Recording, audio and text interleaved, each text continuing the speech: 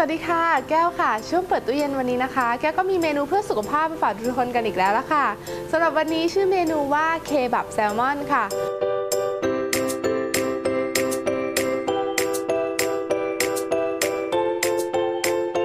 แต่ว่าก่อนที่จะดูว่าแก้วสาธิตวิธีทำยังไง เราไปดูส่วนผสมกันก่อนดีกว่าค่ะ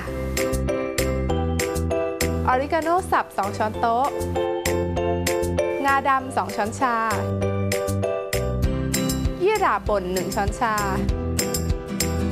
เกลือ 1 ช้อนชา พริกแห้งป่น1ส่วน2ช้อนชา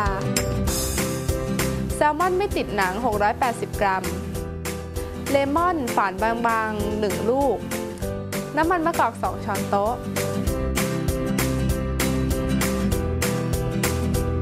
เริ่มต้นเลยนะคะแล้วก็จะเอาส่วนผสมที่เป็นสมุนไพรของเราเนี่ยมาผสมกัน เริ่มจากออริกาโน่ค่ะ ออริกาโน่ประมาณ 2 ช้อนโต๊ะ งาดำนะคะ 2 ช้อนชา แล้วก็ยี่หร่านะคะ 1 ช้อนชา พริกป่นค่ะเดี๋ยวก็จะใส่ประมาณ1ส่วน2ช้อนชานะคะ คนให้เข้ากันค่ะ แล้วก็สุดท้ายก็ปรุงรสด้วยเกลือ 1 ช้อนชาค่ะ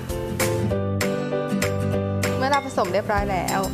สิ่งที่เราจะทำต่อไปก็คือเอาปลาแซลมอนเสียบหมายค่ะ สลับกับเลมอนฝักเราควรจะเอาปลาแซลมอนที่สีไม่เข้มจนเกินไปค่ะ ถ้าเกิดสีปลาแซลมอนเนี่ยมันดูแบบ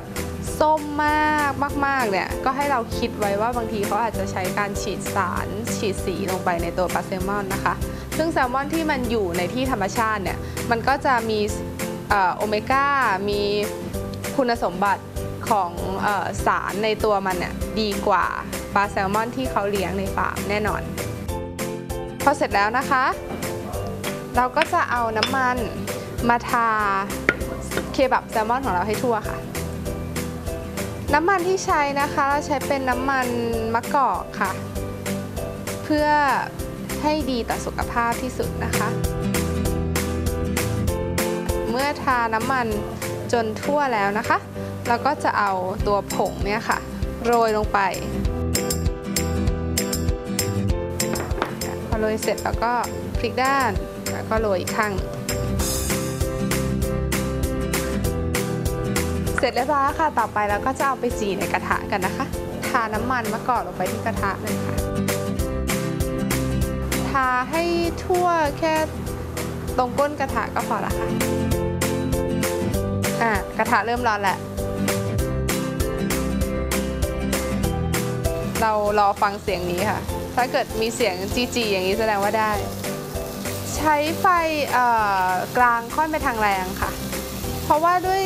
ไม้แล้วก็ตัวเลมอนนะคะ เราจะไม่สามารถพลิกด้านข้างของปลาแซลมอนให้ลงไปได้ เราจะทำให้มันสุกจากข้างล่างกับข้างบน